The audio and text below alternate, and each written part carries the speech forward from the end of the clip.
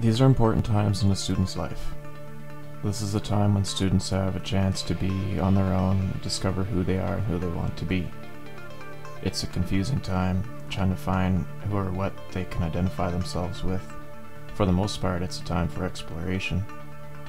But what makes it so hard is that there's little room for mistakes. Maybe what they and we have failed to realize is there's very little time to learn from our mistakes. During all this time of exploration and meeting so many different people, we all have separate lives. So for what seems like the first time in their life, and it was the same time in my life, we're being given options. These students are being given oodles of resources and access to equipment and modern technology that they can use later on. Most of all, there's an attitude that's changing. Instead of rebelling against everything, they're learning to work together, and there's a sense of trust that's building amongst the group. So this whole crew managed and ran a Shakespeare production, Taming of the Shrew. My group designed and built the set in the theater. Our school had the fourth largest theater in the city. We were given a job that was a huge challenge and it was a hell of a lot of work. In the end, we were extremely proud of what we did.